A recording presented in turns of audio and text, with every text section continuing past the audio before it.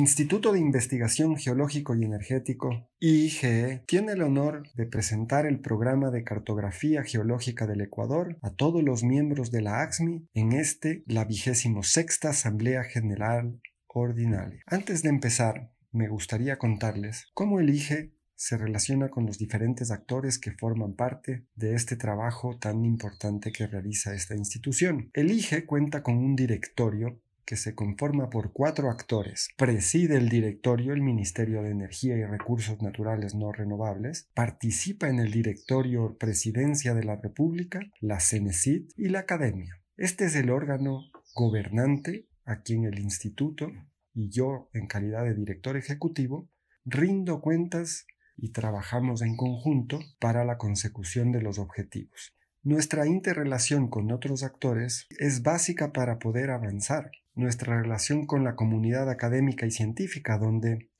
participamos en la coejecución de proyectos de investigación privadas y de la sociedad civil, actores del sector público, ya sean estos del sector conocimiento, sectores, sectores estratégicos, sector productivo, sector seguridad, organismos descentralizados, Consejo Sectorial de Infraestructura y Recursos Naturales No Renovables, o organismos internacionales con quienes para esto, el IGE cuenta con diferentes atribuciones en el marco del estatuto, en donde eh, podemos ver que tenemos una amplia eh, temática de trabajo para dentro de lo que son las atribuciones, pero en el marco de la temática que vamos a tratar el día de hoy, es importante destacar la elaboración y publicación de la Carta Geológica Nacional.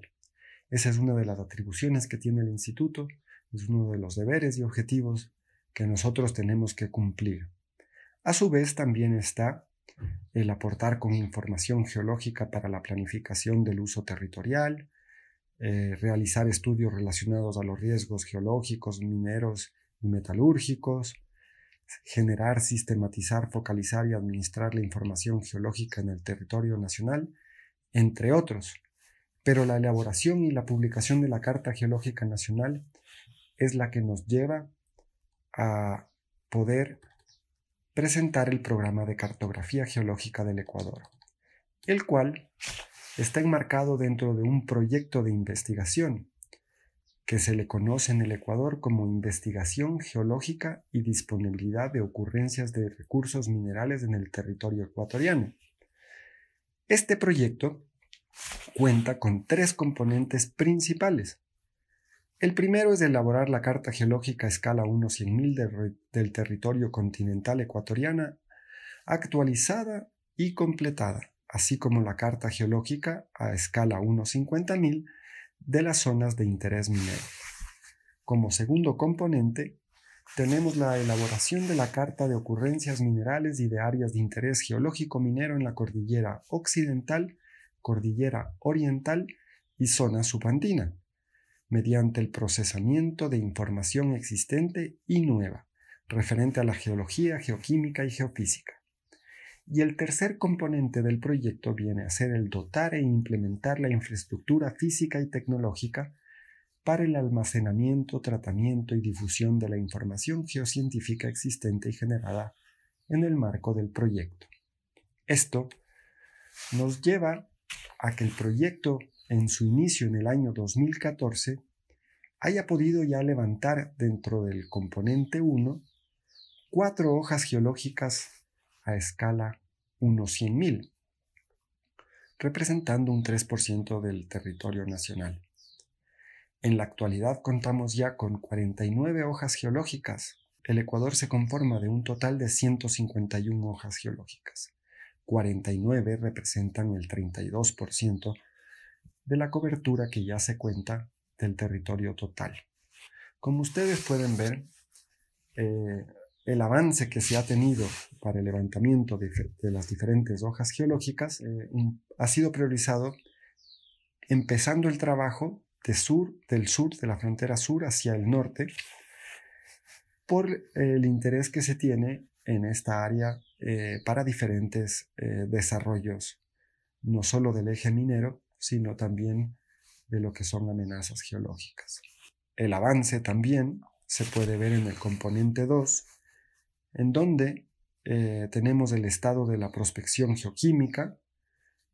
Pasando al componente 2, podemos ver el avance que cuenta el instituto ya en el marco de la área referencial que se ha estructurado como la superficie de referencia. Tenemos levantado un porcentaje bastante interesante de la prospección geoquímica a escala 1.50.000, como ustedes pueden ver en el gráfico 1, así como el estudio de ocurrencias minerales metálicas, ya solo falta la cordillera oriental, eh, que tiene cierta complejidad por la geografía, topografía y, y el clima, lo cual impide, de cierta forma, que estas hojas geológicas sean rápidas de levantar. Y el estudio de ocurrencias minerales no metálicas eh, lleva un avance importante, pero como ustedes pueden ver, todavía hay bastante trabajo que se debe desarrollar. Los valores ejecutados los pueden visualizar en las tablas que se encuentran a mano derecha y el porcentaje de kilómetros cuadrados que representa si es que tomamos en cuenta la superficie de referencia. Dentro del programa y del eh, componente número 2, tenemos también la recopilación de la información y el levantamiento de la geofísica aeroportada. Es importante mencionar que el Ecuador a través de un programa llamado ProDeminca sintetizó, recopiló, analizó y consolidó toda la información geofísica levantada por diferentes actores, principalmente Petroamazonas y Petroecuador, que son eh, la industria petrolera en el Ecuador, cuenta con un 51%, un poco más del 51% de su territorio referencial ya eh, levantado en lo que sería geofísica aeroportada. Y nos encontramos precisamente en este, en este momento consolidando un programa para completar las áreas que se encuentran faltantes para lograr un 100% del territorio referencial. Esto se va a hacer a través de un préstamo que lo hemos trabajado con el Banco Interamericano de Desarrollo y esta actividad inicia eh, en el segundo semestre del año 2021. Otro de los componentes, el componente número 3, tiene varios objetivos, como vimos allá, es el geoportal, eh, los laboratorios, todo el procesamiento documental, eh, los sistemas para poder almacenar y, tener al alcance de la sociedad em, toda la información levantada. Todo esto se ha hecho en el marco de la implementación de la infraestructura tecnológica, la implementación del Banco de Información Geológica del Ecuador, el BIGE, y la implementación de la infraestructura física del Repositorio Geológico Nacional. Hemos tenido avances importantes en el componente número uno y el componente número dos, pero la implementación de la infraestructura física del Repositorio Geológico Nacional ha venido eh, un poco retrasado y en el marco del mismo proyecto se espera implementarlo a partir del de, eh, segundo semestre del 2021 hasta el 2022, eh, teniendo ya un 100% de ejecución en lo que sería la infraestructura física del repositorio geológico nacional. ¿Y qué nos lleva eh, a nosotros para poder garantizar y precautelar toda la información que levantamos que cuente con el respaldo técnico y que las hojas geológicas cumplan con todos los requisitos y formalidades que se necesitan para que las mismas eh, sean aprobadas por parte de los entes rectores de cartografía en este caso, nosotros contamos con algunas normativas, procedimientos y protocolos. Voy a hacer referencia tal vez a algunos y están ante ustedes el resto, pero contamos con un esquema de contenidos para documentos técnicos, procedimientos para el levantamiento geológico escala 1 100.000, el cual está siendo terminado y será publicado y aprobado en el mes de mayo, así como un manual de procedimientos para la prospección de sedimentos fluviales, el cual se encuentra activo.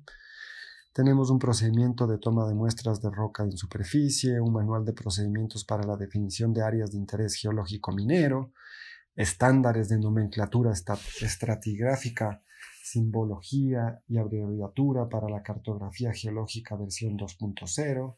Nos basamos también en normas como la ISO 710 para cartografía geológica, eh, la ISO TC 19100-2005 o la 19126-2009. Tenemos también un catálogo de símbolos geológicos basado en las ISOs, en la 19117 o en la 19110. Y contamos, creemos, con un eje técnico muy importante que es con un laboratorio químico que el año 2020 ya fue certificado para el análisis de dos ensayos eh, bajo la norma ISO 17025 que fortalece a toda la información eh, de, las muestras que vienen de campo y que son sintetizadas y trabajadas para la definición de las hojas geológicas. Esto entre otras actividades y procedimientos que tenemos en el instituto. Y claro, estos procedimientos de la cartografía geológica, esto se hace principalmente en cuatro pasos o etapas. El primero es la recopilación de la información. Esto se le conoce también como planificación. Es un trabajo que se realiza en las oficinas, se consolida toda la información que se puede recolectar de diferentes actores y se consolida eh, y planifica eh, la salida de campo dependiendo de la información y la calidad que se tenga de la misma, así como el tipo de terreno al que vamos a ir a trabajar. Una vez que realizamos toda esta planificación y esta recopilación de información, vamos al levantamiento en campo de la información necesaria para la estructuración de una hoja geológica. Este levantamiento requiere de una movilización y el levantamiento de diferentes muestras y diferentes datos en campo. Toda la información levantada en campo nos permite pasar a la etapa 3, el cual es el análisis, y eh, el análisis de toda la información levantada. Esto se realiza a través de los laboratorios, como ya mencioné, los laboratorios cuentan ya con una ISO 17025 que, garantiza eh, la, eh, la confianza que se tiene que tener de los, de los resultados obtenidos en el laboratorio y fortalece la información que se va a plasmar en las diferentes hojas geológicas, así como la revisión de los productos y eh, esto se da también a través de diferentes ensayos en el laboratorio. Con este análisis podemos pasar a la etapa 4, que es el procesamiento. Y este procesamiento ya se da y busca tener los productos finales. Y esto eh, es importante mencionar que se da a través del dimensionamiento de los trabajos geomáticos, eh, se hace una revisión final y la emisión y difusión de las hojas o de la cartografía geológica que ha sido levantada eh, después de todo este procedimiento. Eh, específicamente dentro de lo que es planificación y logística, vemos que tenemos una información inicial, contamos con un presupuesto, vemos la complejidad del área de estudio, la logística disponible, qué información bibliográfica y cartográfica eh, de cartografía básica contamos. Otros criterios para el dimensionamiento del trabajo, en cambio, también son las jornadas de trabajo, Normalmente consideramos zonas de cordillera que tengan más o menos cinco días, em, pero son jornadas que oscilan entre los 20 días. En las zonas de costa estamos acostumbrados a que sean jornadas de 15 días, igual más menos 5 días por jornada, dependiendo del tipo del terreno. Y en la Amazonía también son 15 días más menos 5 días. Este equipo de trabajo está conformado por diferentes técnicos. ¿no? Estos técnicos, em, cuando son en zona de cordillera, generalmente van entre 6 y 8 técnicos, cuando son zonas de costa 2 y 4, zonas de la Amazonía son 2 y 4. También es importante destacar que estos técnicos, eh, dependiendo del objeto y la zona de estudio, los técnicos pueden ser geólogos, geógrafos, ambientales, químicos o sociólogos, para permitir que los objetivos que se tienen en esa zona se puedan cumplir en los tiempos establecidos. Estos equipos multidisciplinarios fortalecen el levantamiento y el trabajo que se realiza en el campo.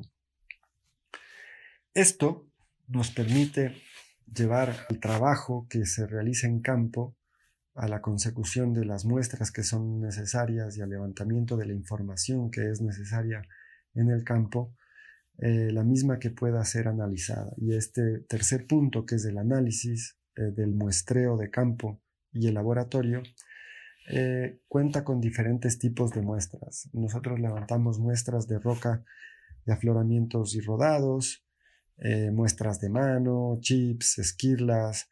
También contamos con muestras de roca de alta ley, sedimentos fluviales, sedimentos fluviales activos, muestras especiales, eh, dataciones radiométricas, muestras duplicadas, muestras de agua superficial también se utiliza.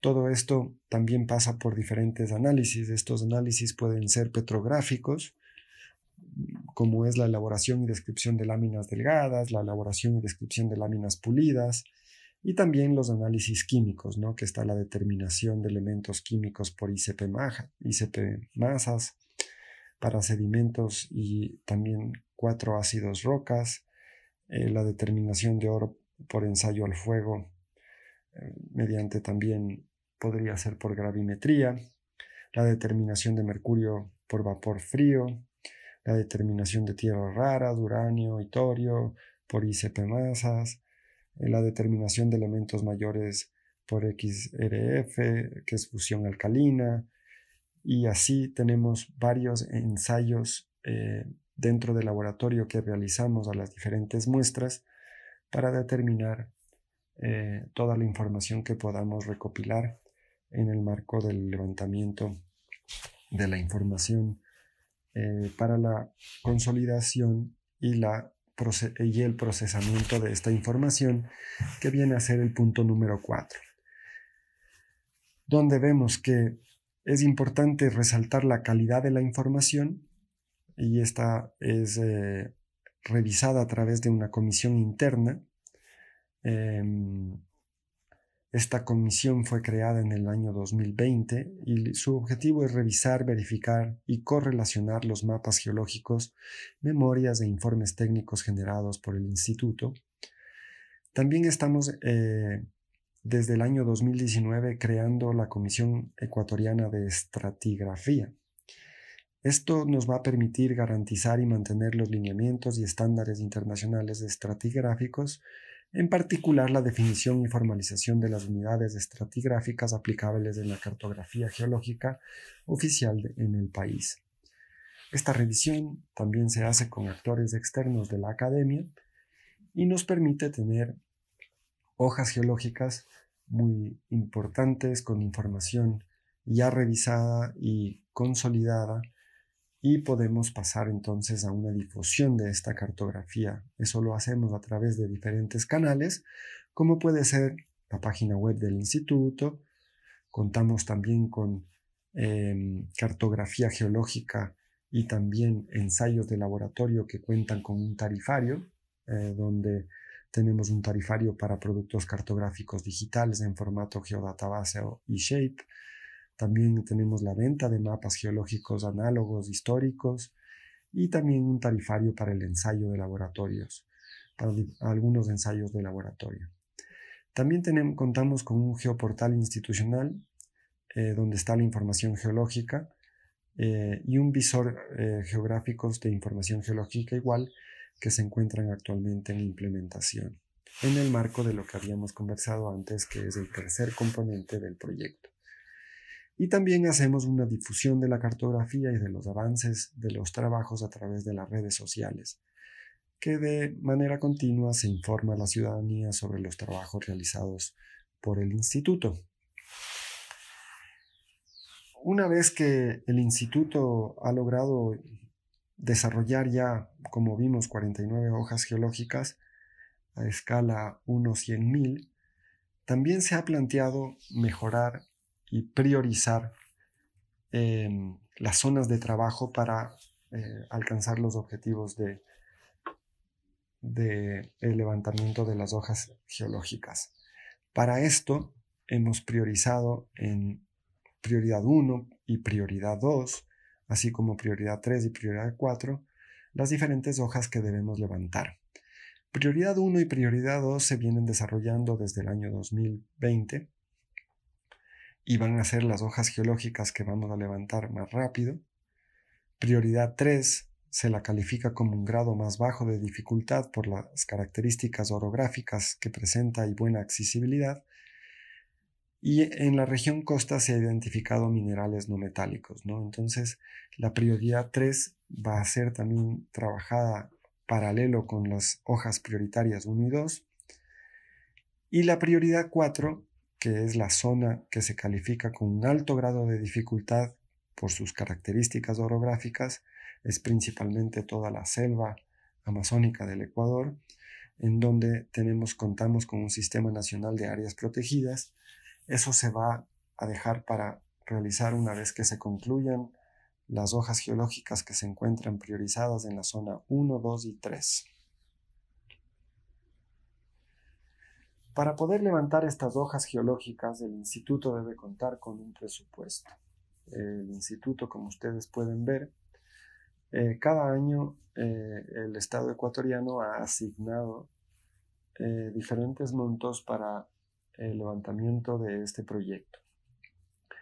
Este proyecto ha contado en su primer año, en su inicio en el año 2014, con 7.268.000 dólares eh, y ha ido disminuyendo el presupuesto asignado por diferentes razones, lo cual ha hecho que eh, se haga un poco más difícil el levantamiento de las hojas geológicas o el cumplimiento de una cartografía geológica en un corto plazo, pero se ha garantizado que se pueda levantar un cierto número de hojas geológicas durante cada uno de los años que se, han, eh, que se ha venido desarrollando este proyecto. También está el tema de los precios que tenemos para la venta de la cartografía geológica. Nosotros en el Ecuador tenemos un valor para el mapa geológico escala 1 100.000. Es un mapa digital, eh, MXD, geodatabase integrada, por las coberturas generadas para el mapa temático con su base de datos, fuentes de escritura y estilos. Este eh, mapa eh, tiene un valor para el público en general de 360 dólares americanos. Y obviamente el instituto no trabaja solo, eh, ha venido desarrollando diferentes lazos y convenios con organismos públicos y privados para lograr fortalecer la actividad que viene desarrollando y obviamente lograr los objetivos que se vienen planteando. El IGE hasta el año 2021 ha firmado un total de 39 convenios de cooperación interinstitucional en el ámbito geológico minero, con servicios geológicos regionales, instituciones públicas y entidades académicas públicas y privadas. De estos 31 convenios, y actualmente estamos en proceso de, eh, suscripción eh, de cuatro nuevos convenios interinstitucionales que nos van a dar eh, trabajos y, fortalecimiento de capacidades importantes en los diferentes ejes de trabajo que venimos desarrollando. Como resumen del, del avance técnico del proyecto, podríamos destacar que se cuenta ya con un levantamiento de finalizadas 49 hojas a escala 1 100.000, un levantamiento geoquímico del 49% del área de referencia en las áreas de, las cordilleras, un 69% de avance en las áreas de cordillera para lo que es levantamiento de ocurrencias minerales metálicas, eh, para lo que es ocurrencias minerales no metálicas un 46,88%, la implementación de la infraestructura tecnológica lleva ya un 70%. La implementación del Banco de Información Geológica del Ecuador, el BIGE, se encuentra en una totalidad del 65% de avance. y la implementación de la infraestructura física del repositorio geológico nacional, como les comentaba, es el punto un poco más atrasado que se retoma eh, con el financiamiento que vamos a tener del Banco Interamericano de Desarrollo, que actualmente cuenta con un 5% de avance. Todo esto eh, nos permite hacer algunas precisiones finales. El Ecuador eh, es por su por, por, cómo está ubicado y que, cómo, con todo lo que cuenta, eh, tiene un gran potencial geológico minero, por lo cual el levantamiento de la información es un insumo importante para obtener la Carta Geológica Nacional. Y, y esta aporta a los planes de ordenamiento territorial, así como al análisis de amenazas geológicas y la definición de áreas de interés para el desarrollo de diferentes actividades relacionadas a la minería.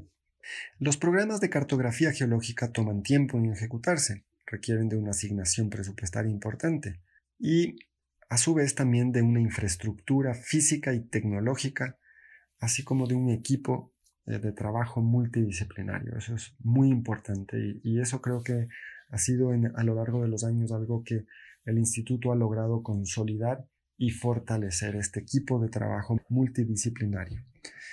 Y para lograr los productos cartográficos mencionados es importante contar con el apoyo de servicios geológicos regionales, instituciones y empresas públicas, la academia y la comunidad en general. Creemos que el trabajo en conjunto eh, fortalece el conocimiento y eh, permite avanzar de una manera sostenida para eh, lograr los objetivos que nos hemos trazado. Sin más, eh, y robándoles un poco de tiempo, agradezco a todos los miembros de la AXMI por escucharme y en nombre del Instituto de Investigación Geológico y Energético les damos las gracias por su atención a esta presentación y resumen de lo que es el programa de cartografía geológica del Ecuador. Muchísimas gracias.